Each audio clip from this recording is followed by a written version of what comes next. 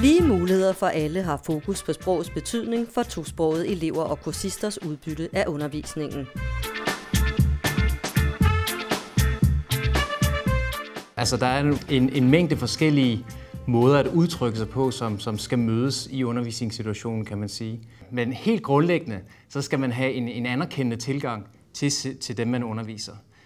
Og at sige, jamen det er jo et, et basalt pædagogisk princip, som alle undervisere vil skrive under på.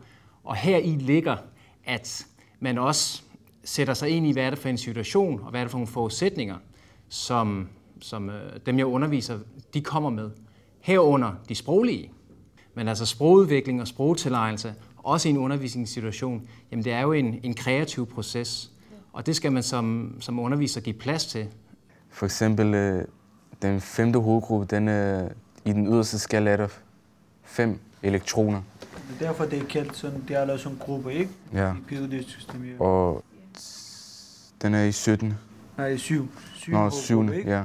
Ja, det er 7 nummer gruppe 7, og 1, det kan godt arbejde sammen. ja. Det er sådan. Men det, det, er kun, det er kun 8. hovedgruppe, der ikke kan samarbejde med de andre, fordi de har 8 i den yderste skal i forvejen. Ja, 8 elektroner. Så de behøver ikke smide nogen eller få nogen Ja. nye med ind. Så de har det fint nok med sig selv. Det er øh, sådan, systemet hænger sammen.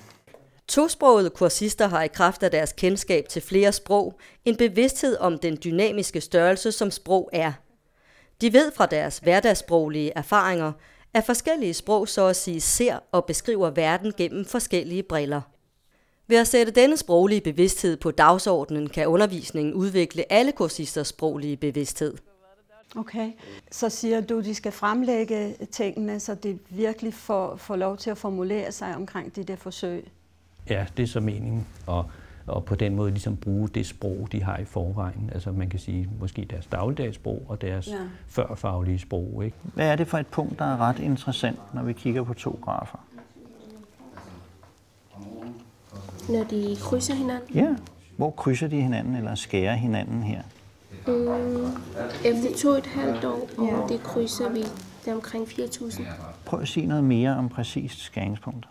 Altså når man kigger på skæringspunkter, så stiger den, billig, så stiger den billigste, som du har betalt for i starten, og så falder den dyreste, som du har betalt i starten. Eller den stiger ikke så meget. Nej, men ja. Præcis.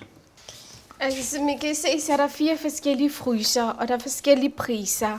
Og på den næste sted, side, så skal vi finde, hvilken kraft der tilhører til hvilken øh, øh, fryser. Hvad koster de to frysere efter 6 år? Om 6.900 koster den efter 6 år. Ja. Jeg skal lige have, hvorfor du tegner den. Vi har 6 der, vi har 7 der. Hvorfor tegner du... efter seks år. Nå, efter 6 år. Ja, okay. Var det ikke, du sagde seks? Det faste udtryk efter seks år, som her volder vanskeligheder, er et godt eksempel på, at det ofte er de førfaglige udtryk, der udfordrer tosprogede kursister i matematikopgaverne.